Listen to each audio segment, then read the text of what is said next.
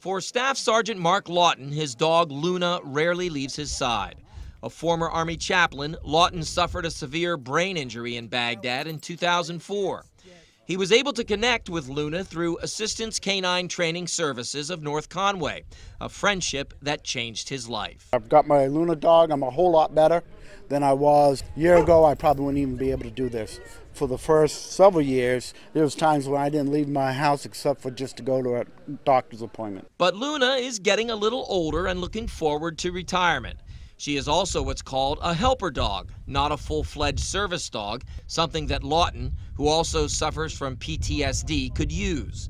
So today, two groups, the Friends of Veterans and the Red River Charitable Foundation, donated the money to train a new dog at this charity golf tournament. We really just think this is so special because it impacts him, it impacts his family so directly, and uh, that's what we love about it. A service dog will get very specialized training for an individual's needs. For example, Lawton is hard of hearing. Depending on his hearing issues, we may train some other hearing things like um, alerting to the doorbell or to alarms, things like that.